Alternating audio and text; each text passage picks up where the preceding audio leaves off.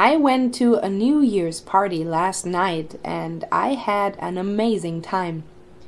We ordered sushi and I ate so much.